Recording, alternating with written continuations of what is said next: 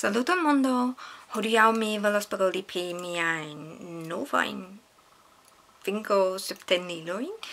Um, mi decidas ke mi nomas ĝin septenilojn, ĉar ili subtenas miajn fingojn. Mi ricevis ilin antaŭ um, tri semajnojn semainoi kai uh, ah, mi traduas ilin. Li, li estas el uh, Argenta, Argentai, kai tre uh, forta, kai stricta, bla. Um, vi povas vidi che mi ne povas movi mian dicfingo mm. nor imo iomete movi la dicfingoi sed um, ili helpas min por ili helpas min ne flexi miain fingroin en directoi kiu kie mi ne volas flexi miain fingroin ĉar mia fingroin flexi en tiu directo kaj ĝi doloras. Multe um, ili ne estas pesa, pesai, uh, sed ili sonas.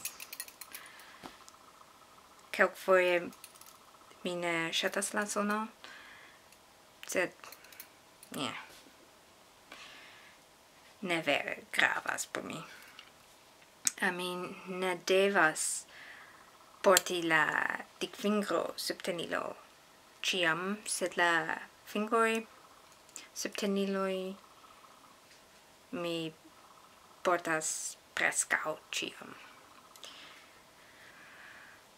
Antaua mi havis plastain subteniloin, sed mi pli shatas la argentain subteniloin ili helpas plu. Kai ili ne demetas ilin mem. Ne estas facile po demeti gin. Eble ne.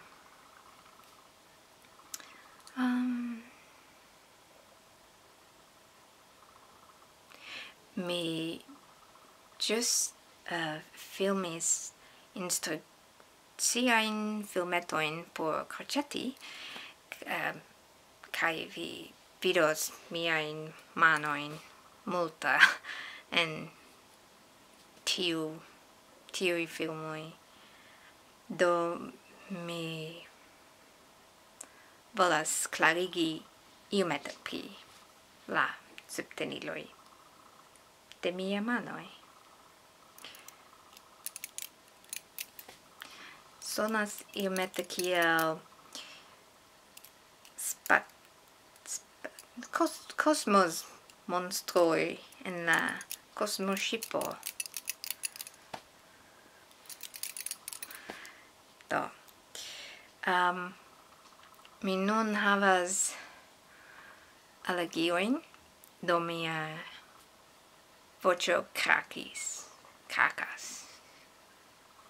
Kai nun ne estas bona tempo por havas alegioin.